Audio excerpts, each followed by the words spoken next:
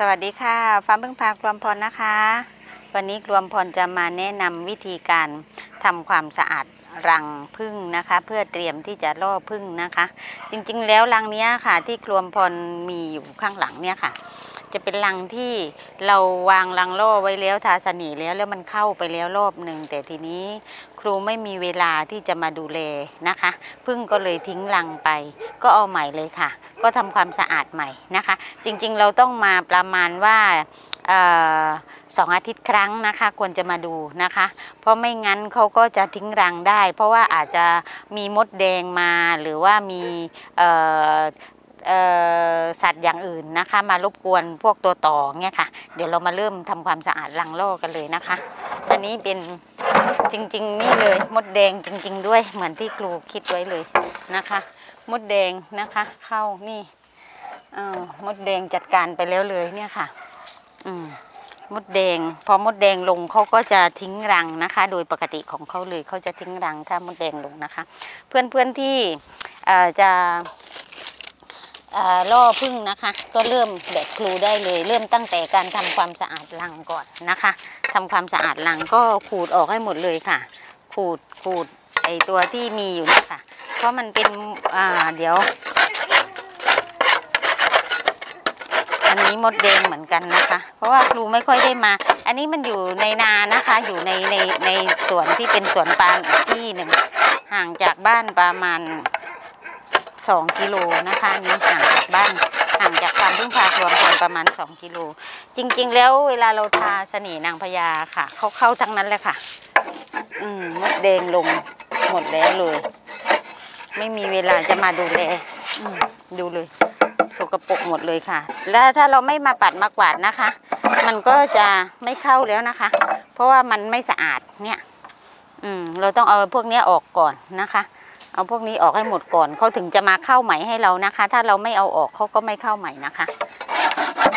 ครูไม่มาดูหลายแล้วค่ะ สักสองสามเดือนได้แล้วค่ะหลังนี้ ไม่มาเลย ไม่ว่างที่จะมาเพราะมันไกลด้วยอะค่ะ เพราะว่าจริงๆแล้วครูมัวแต่ทำงานอยู่ที่โน่นเนี่ยแล้วก็หนูมันก็ชอบมาอยู่ ถ้าพอไม่มีพึ่งหนูก็จะอยู่แทนนะคะเพราะไม่สะอาดพึ่งอ่า รอบใหม่ก็จะไม่มานะคะ ต้องทำความสะอาดก่อน เนี่ยค่ะ ปัดกวาดเช็ดถูไว้เรียบร้อย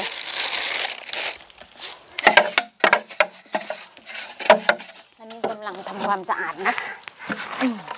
ใช้แรงกวาดกวาดถูถูนะคะ แบบนี้เลย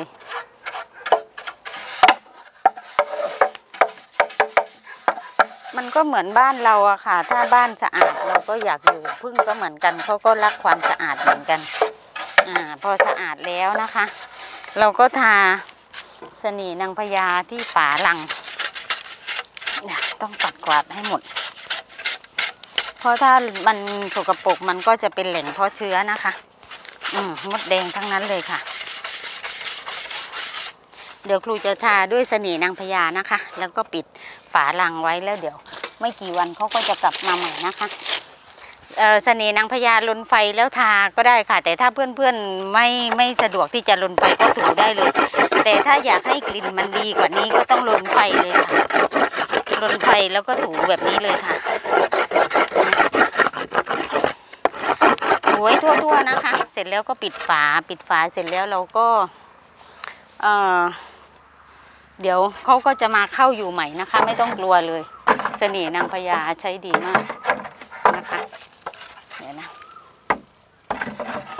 อืมแล้วก็หันทางเข้าออกไปทิศไหนก็ได้ค่ะที่เป็นโล่งแจ้งนะคะ ที่เป็นทิศโล่งแจ้งไม่มีไม่ขวางด้วย ไม่ขวางด้วยทางปาล์มนะคะ เนี่ยแบบนี้ได้เลยยังเดี๋ยวครูจะต้องหาเชือกมาผูกอันนี้ไม่ให้ไม่ให้อ่อ หนูมันเข้าไปได้นะคะก็ต้องผูกไว้ เพราะไม่งั้นเดี๋ยวหนูมันจะเข้าไปได้นะคะ พอหนูเข้าไปก็เพิ่งยังไม่ทันมาก็กลายเป็นสกปรกเสียก่อนนะคะ แล้วก็เอากระเบื้องปิดนะคะ เอากระเบื้องปิดมืดมืดๆหน่อยนะคะ เพราะไม่งั้นพึ่งเขาก็ไม่ชอบนะคะเขาชอบที่มืดนะ เดี๋ยวครูจะต้องหาเชือกมาผูกเนาะตรงนี้นะคะ เถาวันก็ได้ค่ะ คงต้องใช้เถาวันไปก่อนนะคะ เอาเถาวันผูกไปก่อน เพื่อที่จะหนูจะได้ไม่เข้ามานะคะ เนี่ยผูกไว้นะคะ